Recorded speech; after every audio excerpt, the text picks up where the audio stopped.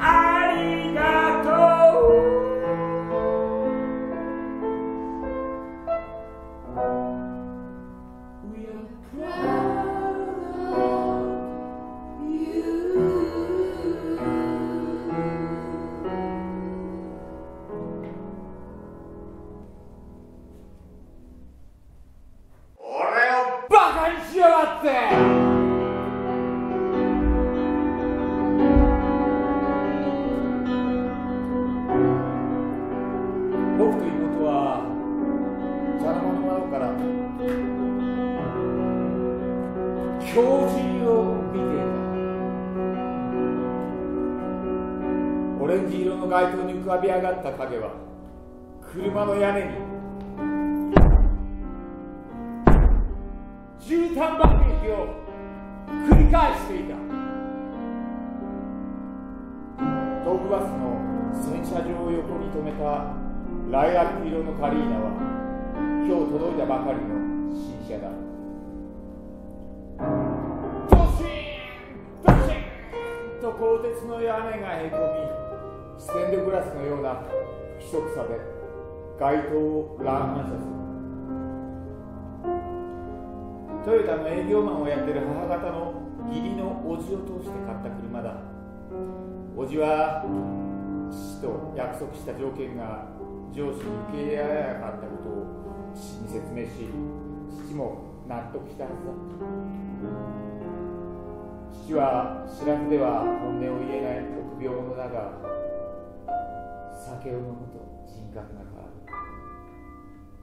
僕が中学2年の蒸し暑い夜中だった。捨て猫に黄色い腹巻きをした父がわめき散らしながら新車をボコボコにする。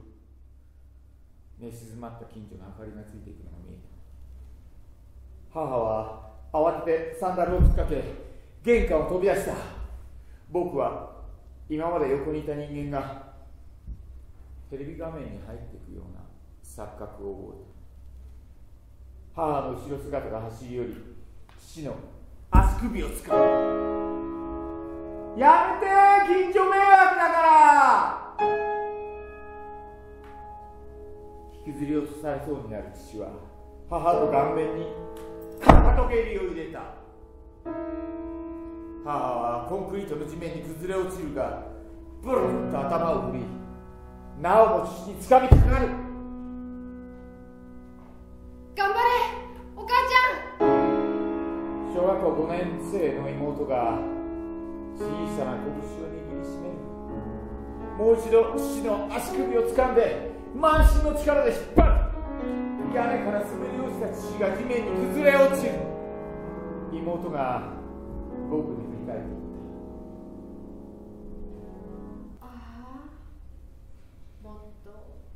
平和な家族に生まれたかった。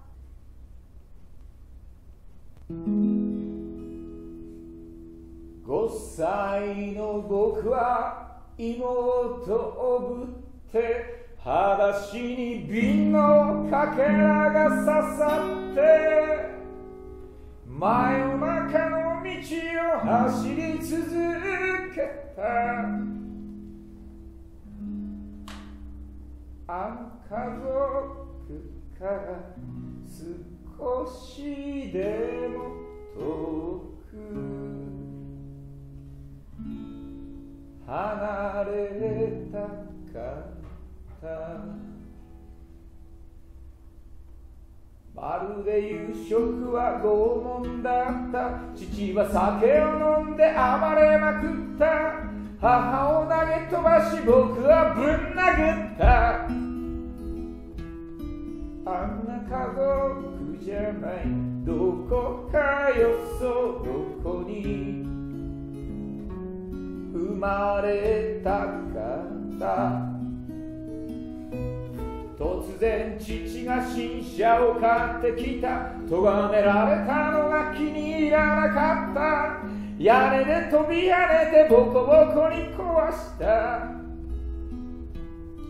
あんな家族など消えてしまえばいい。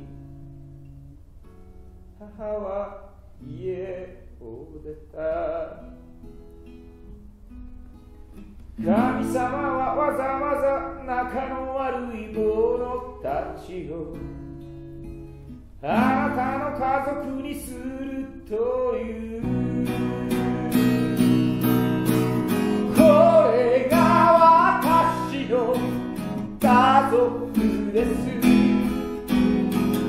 恨み続けた。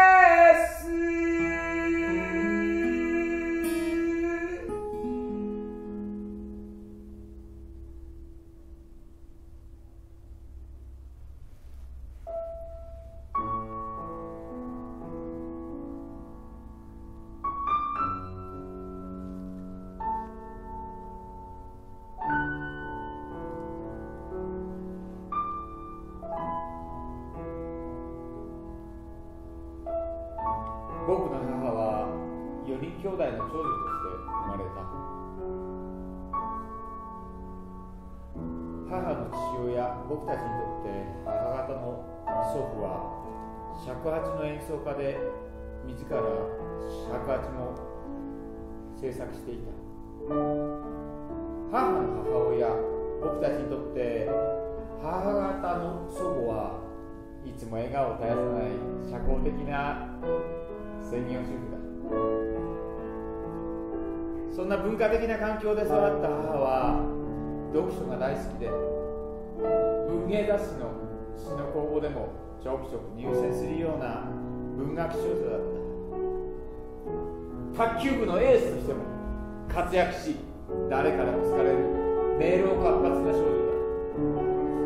娯楽の少ない当時山登りは若者たちを魅了した。関東平野の頂点である日光連山は昔から聖地として崇められ山伏や修験道の人たちが山で修行していた。しかし外国からスポーツとして登山が入ってきた。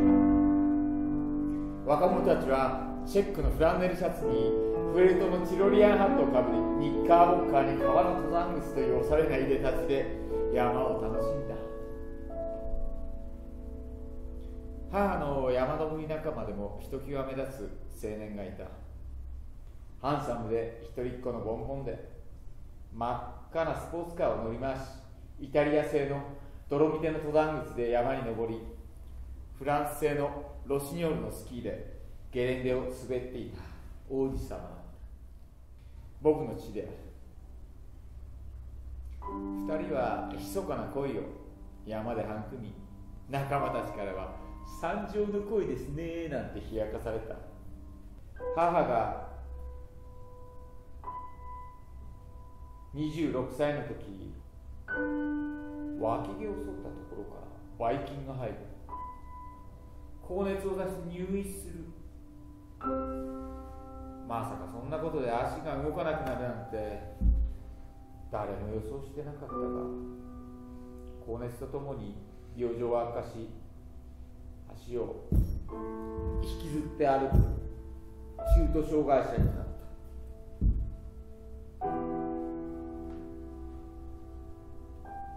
もう山には登れないのだろうか。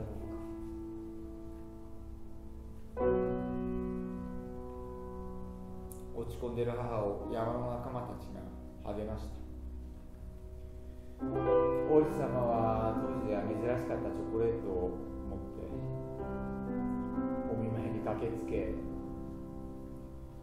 母の心を射止めた退院した後に今度は父の母親僕たちにとって新型のおばあちゃんが病気で倒れ母は父の家に泊まり込みで看病した。結婚前に母は妊娠を知る。急いで式を挙げ今でいうできちゃった結婚だよね。出産の時子宮に血がたまり母子ともども命が危ぶまれた。医師が「どちらを取りますか?」と聞いた時母はこう答えた。私よりこの子を助けてあげて。緊急帝王切開で僕はこの世界に生まれ落ちた。まま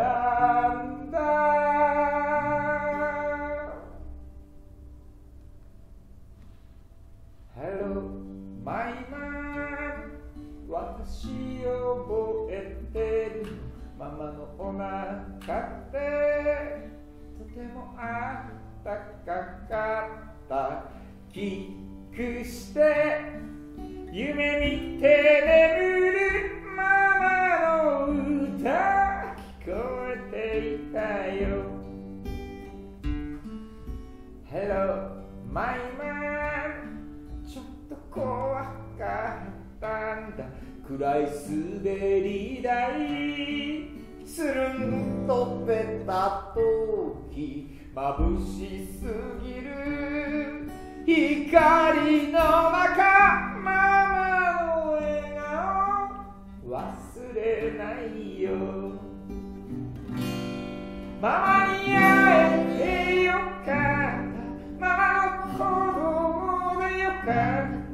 ったママを守るため生まれてきたんだ。ママに会えてよかった。ママの子供でよかった。ハロー。ハローマイマン。Hello my man 私を覚えてるの。ママに会う前は神様といたんだ。天国のテレビで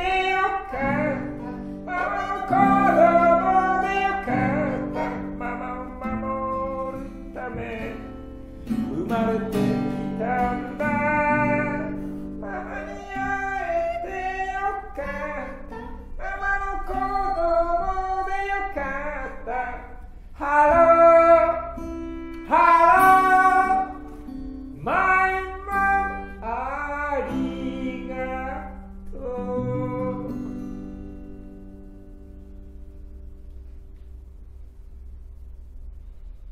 僕はすくすくと育ち健康有料児の表彰まで受けた。僕がまだ赤ちゃんの頃おねしょで濡れた布団で泣いていると。母は僕を自分の布団に移し替え自分は湿ったおねしの上で寝たそうだ。ビデオとかない1959年に0歳から5歳までの僕を父が撮影した「我が家のホープ」という8ミリ映画が残ってる。これを見るとどれだけ僕が愛されていたかが分かる。新型のおじいちゃん松吉は東武日光駅でキオスクを経営していた。駅が遊び場だった僕は世界中から訪れる外国人を見ながら育った。おじいちゃんが「How much?」と片言の英語で怒鳴りながら外国人に土産物を売ってる姿をかすかに覚えてる僕が4歳の時に妹が生まれる両親の愛情を横取りされた僕はよく妹をいじめたわんわん泣きながらも妹はハイハイでまたいじめられに近寄ってくるなんだかんだ言っても我々は仲のいい兄弟だ。おじいちゃんが日光東照宮の近くに立ったホテルの経営者として収まっていた父は共同経営者にその権利を奪われていく。何不自由なく育ったボンボンは社長からただの布団敷に転落する。王子様は生まれて初めて挫折を味わい急変した。祖母豊が何度か流産した末にやっとできた一人息子を祖父松吉は徹底的に甘やかした。母に「やれ酒をついでやれ」とか「風呂は空いたのか」とか奴隷業務を言い渡す。ちいちうるせえんだよ！酒を飲んでいた父が切れ怒鳴り散らかし食器をひっくり返し止めに入る。母を殴る。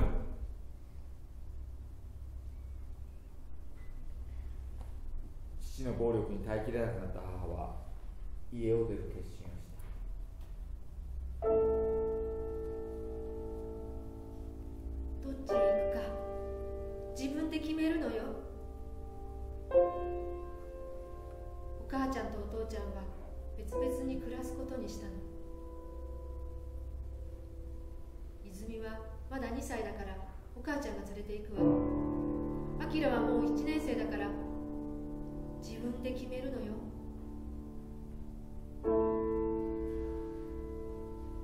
ええー、ひーちゃんや久人に会えなくなるの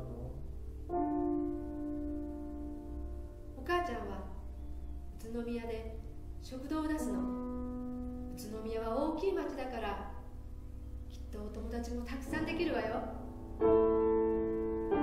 母が僕を抱きしめたいのをこらえてる。僕も抱きしめられるのを待ってる。もしここで抱きしめられたら僕は母についていっただろう。母は死ぬまで僕の自由意志を大切にしてくれた。この日以来僕は母に捨てられたというトラウマに苦しめられるようになる。でも一番苦しかったのは母自身だパパとママは一緒に住めない。だからあなたも自分で選んでたった5歳のあなたにはとても残酷な選択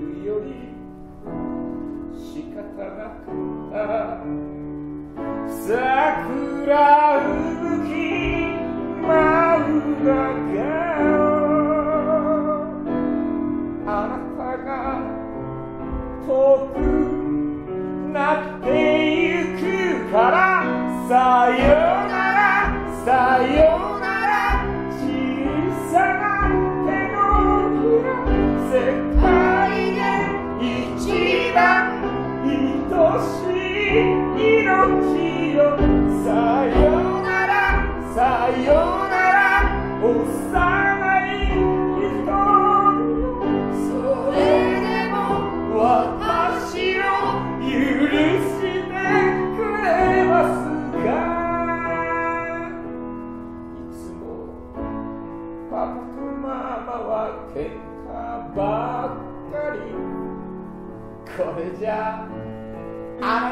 ことは叱れないわがままはいけませんって。ママが言ったはずなのに。だけどこすより仕方なかった。そうね週末にはきっと会えるわ。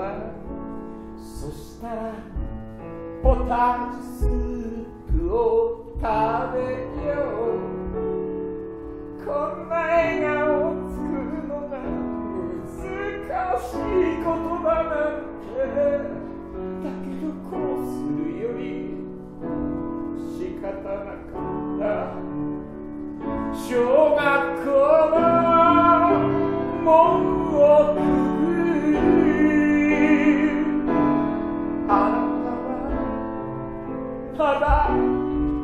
笑っていいたね。さよならさよなら。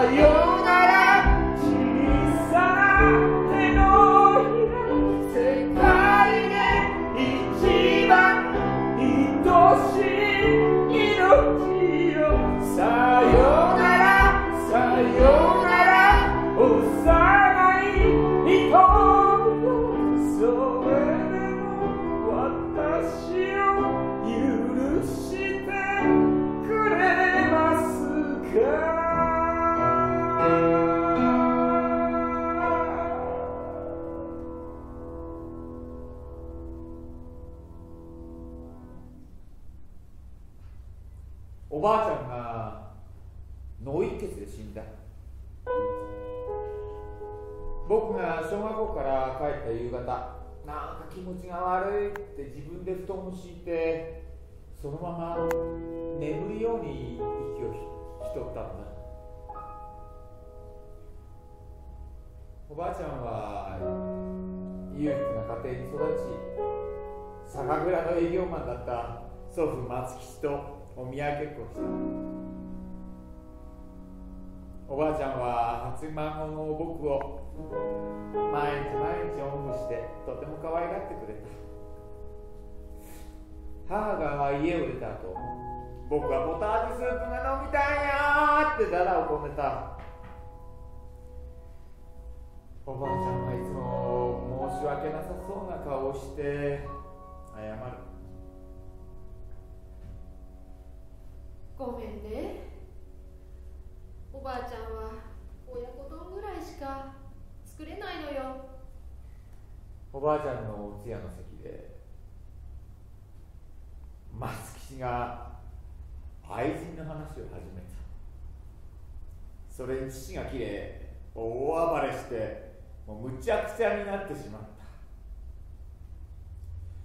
た、はあ、おばあちゃんはギャンブル好きの夫とわがままな息子に手を焼きさらに嫁に逃げられ孫からは洋食を作れって言われて家族のために散々苦労したんだろうな。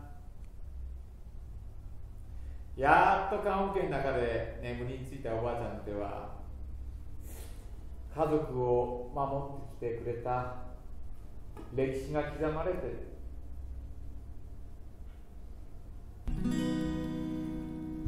ばあちゃんの手 town to town.